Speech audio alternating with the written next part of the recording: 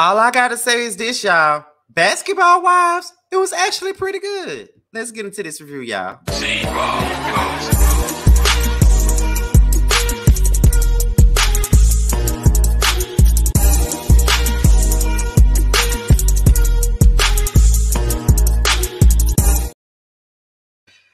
Good, you guys? It's for your boy, Scotty by Nature TV, and we're here for a brand new review of Basketball Wives Season 10, Episode 14. Okay, this is Season 10B, and I gotta say that this episode was absolutely great. Okay, I enjoyed the hell out of this episode. I hope you guys did too. Um, I do know that when Jennifer did an interview with Carlos King on his podcast, she did say that 10B was done by different producers. It's not the same producers as 10A. And she said you will see the difference in the production, you will see the difference in the storytelling. And I must say that I see the difference in everything. It was actually enjoyable. I definitely enjoyed this episode. I can't even front on y'all. I enjoyed the hell out of it, and I can't wait to see how it unfolds. Now, before we get into um this review, because like I said, I'm very excited about it. I know I love this basketball wives, even though they had their shit with them. I love it. But um it's voting season. Okay, so make sure you guys are voting for me, okay, for Boss Babe YouTuber of the Year as well as Boss Babe Podcast of the Year with Jamar84.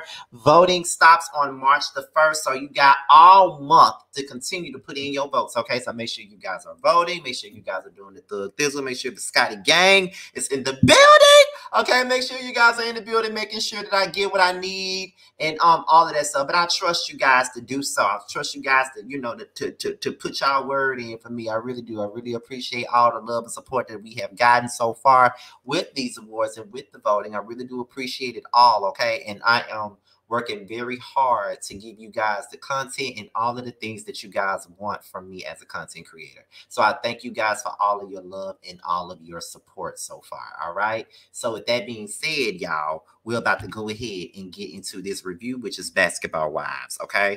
Um, one more thing. Um, before we get into the review, I almost forgot. Um, um, I think it drops tonight. Josiah just got done editing that video and he just sent it to Terrence. So there should be a video with the whether you like it or not best moments of the season. And, it's going to be on Terrence's channel. And then there's going to be a second half of it that's going to be on Josiah's channel. So um, the first half should be dropping tonight because uh, as far as what Josiah said in a group text, um, he did send um, T the video today. So um, shout out to, to Josiah putting in the hard work for us and all of that good stuff. Okay. So with that being said, let's go ahead and get into the review for today. All right.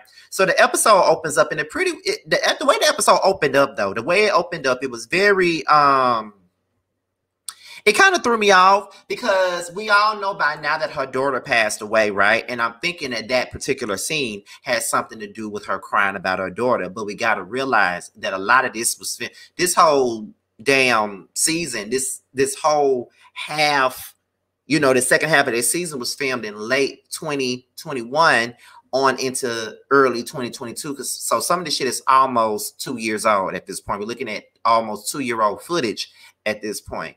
It's basically her in tears crying about what's going on in her marriage with Steve. Now I'm gonna tell y'all this before um the last season was over with, I told y'all that I felt like Steve was not necessarily in this marriage for real, for real. She wanted to have babies, she wanted to do all of this stuff, but he wasn't really into it the same way she was. And I just felt like he never was excited about having no kids with her, nothing like that. And she was ready to have a child by him because she got kids with somebody else. He got kids with somebody else. They've been married for a while. So she wanted to have a baby with her husband. And you know what? I mean, I understood that she, no matter how old she was, because I think Brooke is now in her forties now. No matter how old she may she may be at this point, she wanted to have a baby with her husband. She wanted something that her and her baby, you know, her and her husband can call their own, which is a child. So I understood that. But now they're at they're at a they're at a weird space right now because she knows what he's been doing. She knows what he did already, and it's not sitting well with her. And to be quite honest, I mean, I don't blame. Her. I mean, it wouldn't sit well with me if my man was out here cheating on me and doing all that crazy stuff to me. That's just how I feel about it. So I definitely understand that. So I'm like, okay, this Brooke got a storyline, and she finna work that storyline to the best of her ability, and she needs to because she damn sure didn't have one that first half of the season. Jennifer and Jelani. Now, you know, Jennifer was like, when I went to Duffey's um meet party, I did not know that I was gonna walk out with a man that I really, really like. And now I'm in an exclusive relationship with Jelani, and I'm really happy. I found me a perfect gentleman, and I'm happy at this point. And y'all know I don't really care for Jennifer like that. Y'all know I don't. But at the end of the day, it's nice to see her happy. We've seen her going through a lot of stuff, especially with Eric, you know, the man with the legs, hips, and body, you know, him, the sweetie pie man. She went through a lot of stuff with him, and some dude that she was dating stole her fucking car. So she's been going through a whole lot of stuff with men. So to see Jelani, you know, giving her what she wants and what she needs, it's amazing. You know, she, you know, he, you know, he they was going out to, you know, she did say they was going out to eat and doing a lot of stuff like that together at one point in time. He was like, Yeah, we, we was at the honeymoon stage. Now we at some at another point, but I do want to take you out for brunch with my parents. You feel what I'm saying? So it's gotten to that point now. And she's like, oh my God, you know, once you get involved with somebody and then you meet the parents, it's a whole nother situation. So I'm very nervous. I'm very excited, but I'm very nervous. But we're gonna get through it. We're gonna get through it. And I think that the parents may like Jennifer. You know, I don't as much as I don't care for Jennifer like that, I don't think that she's a bad person. And I don't really think that she's a bad person for Jelani to date either. Um, she she got her shit with her. Don't get me wrong, she do, but I don't think that um she's a bad person to date at all. I think that um it's gonna go well with him, with her, and you know the parents and stuff like that. I do because Jennifer, she has a good um personality. I'm it, it may be a little bit bougie and stuck up, but as far as like to take a woman home to your mama, I feel like she is the perfect I ain't gonna say perfect, but she is a woman that, you know, if I was a straight man, I would take home to my mama house. To be honest, I would. Jennifer's a beautiful girl, you know what I mean? She has a lot of life experience, so why not? And that's all the niceness, and I don't give a ass. So we're gonna move on to Jackie in Malaysia. Okay. Now y'all know that I ain't really been on Team Malaysia for a while now. You know, I've been giving her the blues ever since season eight. You know, I've been giving her the blues. Now we're gonna see what we what she gonna give this time around they discussed Jannero. Okay. Now, you know, she said, Well, you know what I've been going through with my ex husband. And, you know, now I've been hearing that because I said all that stuff about him, you know, dealing with the child support and him not paying, he sent me a cease and desist where, you know, he don't want me to say his name in child support at the same fucking time. So she was like, Well, you know, when we was filming the show, you know, it took a lot, eh, like, he was talking about the cease and desist long before the episodes even came out. So apparently he had to find out from somewhere. And I think one of the ladies did it. My thing about it is, how would I don't think how would one of the ladies even know what you got going on when you wasn't even opening up to none of them about um your ex-husband um not paying child support? I don't know, Malaysia. I think you kind of reaching with this one. I don't really think nobody cared that much to go and run to your ex husband and tell him anything because anybody could have told your ex husband. Production could have told him. I don't think none of the women really went back and told Jannero about what was about what you were saying on the show because at the end of the day, he was going to see it anyway. So what what would be the purpose of them running back telling Jannero anything about what you're saying in front of the camera when you're going to put it out there? And to be honest, I feel like this. I think it's a um I think that is um very uh convenient for her to blame some of the women for this when I feel like at some point he was gonna know that you said it because the show was coming out. So it really don't matter who told him. He was probably gonna still file a cease and desist against your ass, regardless, because you said it in front of the cameras. It was going to be on the show. So what are you talking about? I don't think anybody went back and told him. I just think that that's your mind, and I'm not really certain. I don't know, but it is what it is. Um. So Jackie starts asking Malaysia, how does she feel about um about returning uh to the fold and she was like, Well, you know, I've been trying to really, you know, relate to these women. I've been trying to do this with these women. I've been trying to do that with these women. It just seems like, you know, I just can't really get along with them. I can't really, you know, I don't have a safe space with these women. So I don't mind putting things to the back burner and moving past everything, but I just don't need no unnecessary drama. I got enough shit going on in my life. I don't need all this bullshit going on. Honestly, I just don't need it. And to be honest, I really don't blame her. Honestly, even though I really ain't been on her side at all. Honestly, I just feel like at the end of the day, you know, don't nobody really want to deal with that. Okay, so that's how I feel.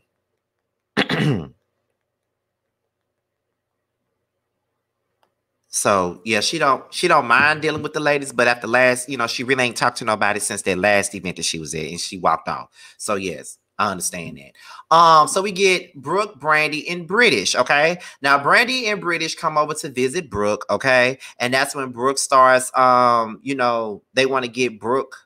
Wait, wait, wait. Okay, so uh, they come by to visit Brooke because they know that Brooke been dealing with a lot of stuff.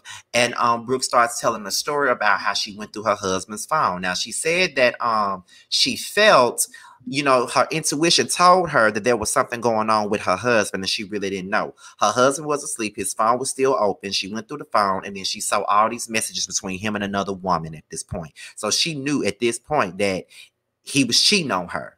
And then when he woke up, he seen her looking through the phone. He had a dumb look on his face. And ever since then, she been like, okay, I- am over it. Like we were sitting up here planning a life together, trying to have some more babies, trying to do this, trying to do that. And then you turn around and you throw all of this stuff that we had going on away. So it's so you know it's difficult for Brooke right now. Brandi said that she's been through the same thing that Brooke has, and she never wants to go through that again. You know what I mean? But my thing with Brandi is, I don't know with Brandi, and y'all know I go up for Brandi. I know a lot of people don't, but I go up for her. But my thing with Brandi is, she feel like just because she took back her husband that slept around with thousands of women, she feel like everybody's supposed to take their husband back when they cheat. No, not necessarily. I don't have to take back nobody that decided they want to stick their dick up in Tom, Dick, and Harry, whoever walk past them.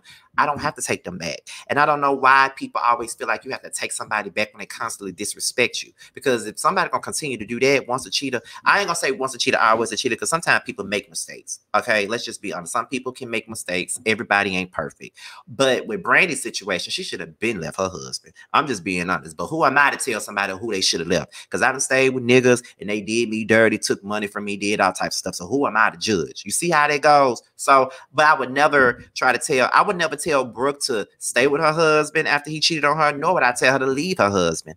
I'll just try to see what would be the best decision for her, to be quite honest. And, you know, Brooke said, you know, Brandon was like, Well, what do you want to do? And Brooke said, I'm going to divorce him. And then Brandi was like, Well, I'm just trying to make sure that you're not making a decision just because you're angry. And then Brooke was like, No, do you really believe that I'm gonna sit up here and you know continue to be with somebody who can't keep their dick in their pants and try to have a baby with them and try to continue on a relationship with them and they can't even do that right? Like, fuck nah, I'm not gonna do that. And to be honest, I don't really blame Brooke for feeling the way that she do. I mean, don't nobody want to deal with somebody like that. It's just that simple. Like, I don't want to deal with that. Like, I don't want to see nobody. I don't want to go through that. I don't want to deal with that that. And I don't blame Brooke for not wanting to deal at all. I just don't blame her for that at all. Like she got every right to feel the way that she feels about this situation with her husband and every damn thing else. She got every right. She got every right. She got every right. She got every right. Period. Okay. Um, so after that, Brittish Duffey Brittish and Duffey. Brittish started discussing her case. You know, you know, she's still going through the stuff with the with the fraud allegations and shit like that. They want Brooke to get out the house, so they want to throw like this birth, not, not a birthday party, but they want to throw a party for Brooke, you know, to make her feel good, get her out the house. You know what I mean? And I don't see nothing wrong with that. You know, just be down with your friend, you know, try to make your friend feel better. You know, a good thing about having good friends when you're going through a situation like somebody cheating on you or your marriage falling apart, you got to have good friends around you to really help you get through that and, and just you know, go through it because I know most of the women on the show have been through what Brooke is going through. So it's a nice thing that they want to come together and just throw this party for her. So after that, there's the parents' brunch. Of course, they're gonna ask her. Oh, wait, wait, wait. Before that, they discuss inviting Malaysia, you know, because Malaysia have had issues with a lot of them. Brittish is pressed. Um, I feel like she is. Um, I do feel like Brittish and Malaysia really don't have no real issues. I just think that Brittish is really following the leader with Brandi, but I do think that Brittish ain't never like Malaysia because they didn't get along in season three. You know, they got into it almost fought in season three, and I and I think that Brittish still got those preconceived notions about Malaysia, to be honest. But um, I think that at some point we should just try to give her a break. At this point, I still don't fuck with Malaysia like that. I still think she phony as hell after the shit that she pulled the last two, the last two, what the last three seasons, like three seasons ago with the OG and the in the CC and Kristen thing. I feel like she phony as fuck, and the way she quickly turned on Jackie. and all that other stuff. Like I still don't fuck with her like that, but I do think we should give her some grace just right now. Just, just let's just let her open up and see what's going on, you know, and see what's going on in her life. So we get into the parents' brunch, okay? They start talking about what her intentions is with Jelani. You know, it's all nervousness. Of course, it's nervousness. I mean, whatever. I mean, what are you talking about? Like you meet somebody's parents. Of course, it's gonna be nervous. Like I ain't never met no nigga parents, so I can only imagine how it's gonna be whenever I get a man and I meet their parents. Because, like I said, I never met nobody's parents before. Nobody never took me to their mama house, child. So I don't know. But they didn't been in my mama house. Go figure. They didn't been to my mama house. They wasn't in my house. They was at my mama house. Well, I never been to their mama house. They've been to my mama house. But you know, whatever. So that should let you know something. But um, what was I at? Let me see. Where was I at? I'm losing my losing my track of thought. Oh, and then they were saying that they wanted Jelani to have like twins and triplets and shit like that. They wanted her, they want him to do that and stuff like that. And you know what? They doing they being typical parents. They want grandchildren. Jennifer damn near old as Methuselah. She need to go on to have a damn baby right now because I know she want to have one. But she just wanted to make sure that she with the right man. I mean, she was with Eric for all them years and never had a child by him. It was probably best that she didn't have no damn child by him because he wasn't shit with that damn raisin sitting on top of his head. He wasn't he wasn't about shit no goddamn way. So what the hell made her think, you know, made anybody think that she would ever have a baby by Eric? I mean, I'm just saying. But you know, I think that the party with Jelani actually went well. I will say that. Um, so after that, um, let's see where we at. Hold on, you guys. Give me one second.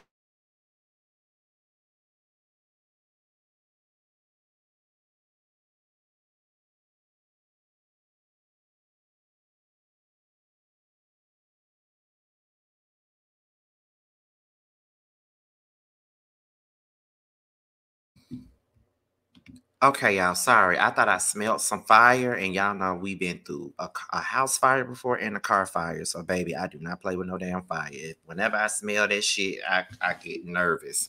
So now it's time for the back in the game party. Okay. Now, first one of the first questions that somebody asked was, "Where's Angel and Rockstar? Has anybody seen Angel and Rockstar?" And Jackie was like, "No, I have not seen Angel and Rockstar, but I'm not trying to intrude on her time, you know, with the new baby and stuff like that. So, you know, Angel's gonna come around. She'll come around."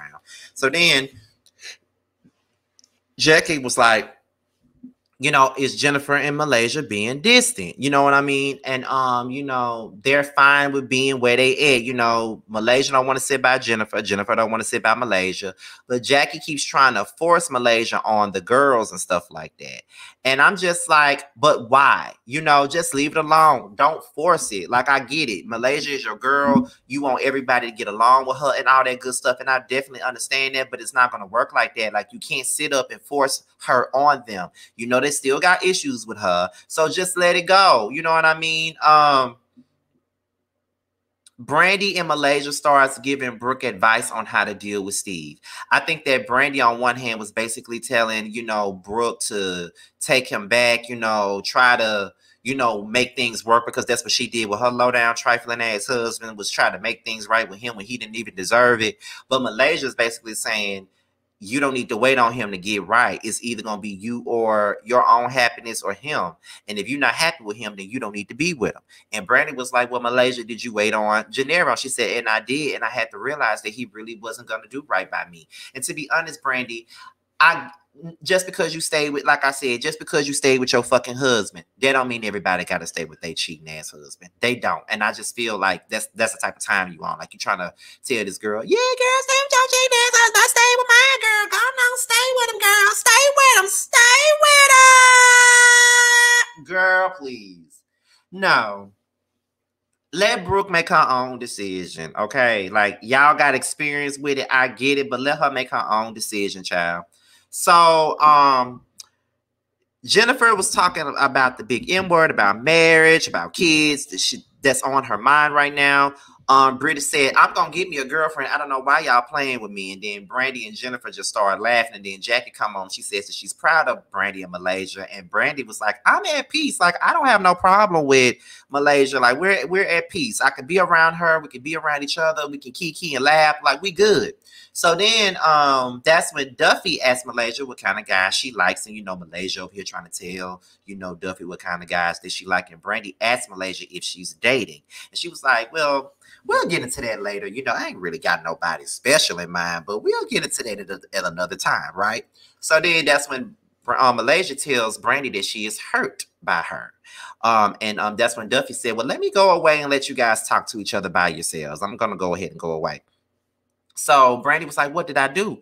And that's when Malaysia was like, Well, you know, things have been going on with Jannero. And I believe that somebody went back and told him that I was going around saying that he was, you know, hadn't paid child support. And I want to know, was it you? And Brandi was like, why would I be talking to Jannero when I don't even talk to you? So why would I be telling Jannero anything? And then she was like, Well, I'm glad to know that you didn't do it. I mean, the only reason why I asked you is because I mean you're the only one out of this group that actually knows Jannero. You know what I mean? So that's why I asked you. But I just felt like I, if I was Brandi, I would have been insulted by that because I would I would have been like, regardless of whatever we're going through, do you really believe that I'm gonna be that damn spiteful to go to your ex-husband and tell him about some shit that you said on TV that's gonna come out anyway. You feel what I'm saying? I don't, and I know a lot of folks. I saw a lot of folks on Twitter actually believing that Brandi would do that, but I don't think Brandi would do that to Malaysia because even even in the last in the first part of the season, when people was coming at her at the very beginning of the season, she was actually defending Malaysia and every damn thing, even though she wasn't really fucking with her like that. So it is what it is. Brittish is not so sure about Malaysia. You know, she feels like they just don't mesh well together, and sometimes that's just what it is. You know, there's a lot of people that Scotty don't mesh with, and I am okay with that. That does not mean that I don't have a that does not mean I got a problem with them or that I got a beef with them. It just means that we don't mesh well. And that's just the truth. Sometimes you just don't mesh with people. It's just it. Um, Jackie, Brittish in Malaysia, okay. They said that Brooke uh, Brittish was saying that Brooke was very happy with the party. She she appreciated all this love and the support and stuff like that.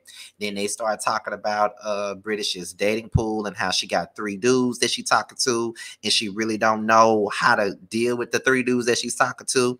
Then Brittish asked Jackie to stop meddling. It's like stop being in everybody's business.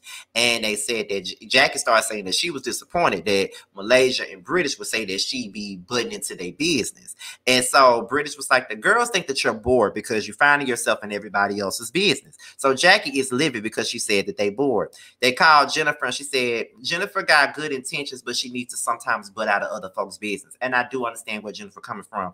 Jackie does have good intentions a whole lot of the time, but sometimes she does need to butt the fuck out because it ain't got nothing to do with her. Stay out of it because that's how you get into a lot of shit when you're trying to butt in and trying to push people to be together. It ain't it just not gonna work like that. Um and then, you know, Jennifer and Malaysia, they started having some petty back and forth over the phone. And then Malaysia hung up on Jennifer. And, you know, Jennifer and Malaysia started arguing and stuff like that. So, you know, Malaysia was like, I had issues with Jennifer in the past. And if she want to continue to have those issues with me, then she can have them by herself because I really could give a damn. Honestly, I don't blame her, but at the same time, I mean, if you threw a table at me, then bitch, we to have beef forever. I'm just keeping it a book with y'all. If you gonna throw a you gonna throw a table at me, we gonna have beef forever. Okay, ain't no way you gonna throw a table at me and think we gonna be cool after that. Oh no, ma'am. I'm just saying.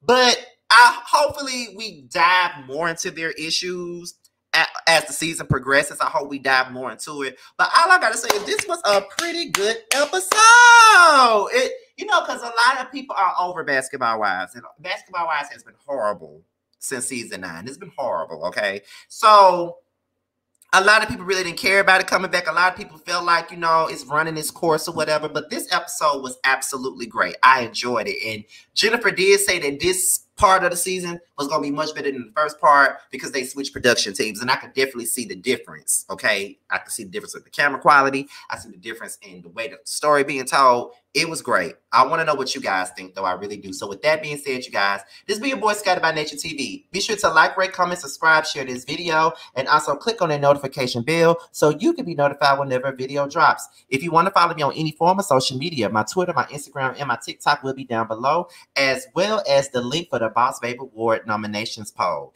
It will be right up under my social media handles in the description box. So with that being said, you guys, your boys up out here. Until next time, I'll talk to you guys later. Rest in peace, Danita. We love you. Bye.